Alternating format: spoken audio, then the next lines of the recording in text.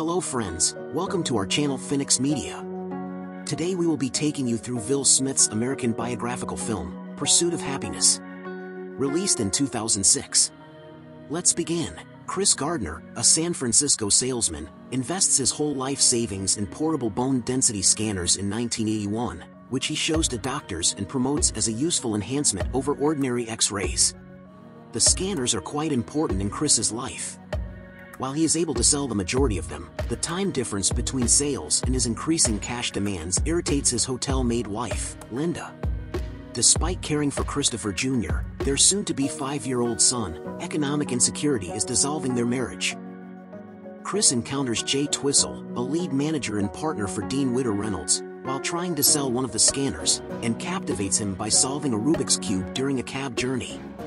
After Jay departs, Chris has no funds to pay the fare and opts to flee, prompting the driver to angrily pursue him into a BART station. Chris boards a train, but one of his scanners is lost in the process.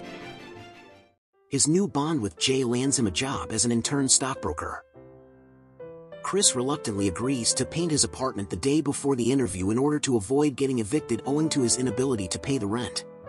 While painting, Chris is approached by two police officers who take him to the station and demand that he pays for the multiple parking tickets he had obtained.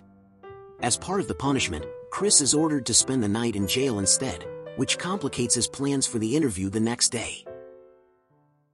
Chris arrives on time for Dean Witter's office, despite his crappy attire. In spite of his outward look, he impresses the interviewers and is offered a six-month unpaid internship. He'd be one of 20 interns lining up for a paid employment as a stockbroker. Chris's unpaid internship irritates Linda, who ends up leaving for New York in the hopes of landing a position at her sister's boyfriend's new restaurant.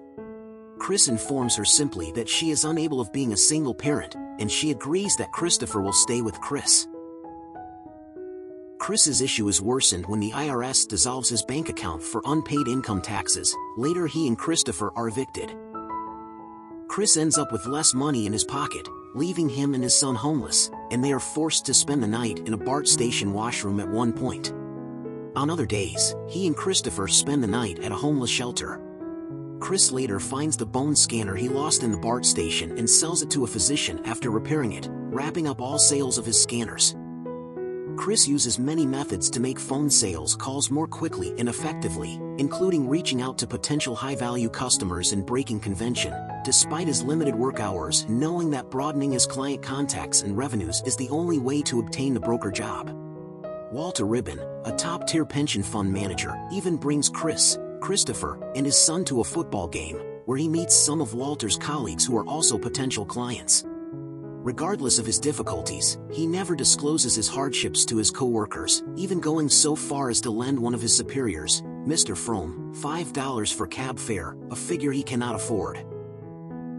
Chris also studies and passes the stockbroker exam. Chris is called up to a meeting with the partners as his last day of internship comes to an end. Mr. Frohm remarks on his new shirt, to which Chris responds that he believed it was fitting to dress for the occasion on his last day.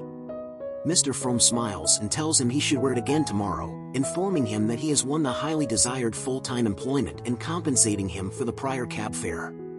Chris shakes hands with the partners while fighting back tears. There, that moment was the happiest moment of his life, which also brings tears in us. He then goes to his son's daycare to embrace Christopher. They jokingly go down the street and are passed by a man in a business suit who is none other than actual Chris Gardner himself. And that's how the movie comes to an end. Please subscribe for more movie recaps and thanks for watching.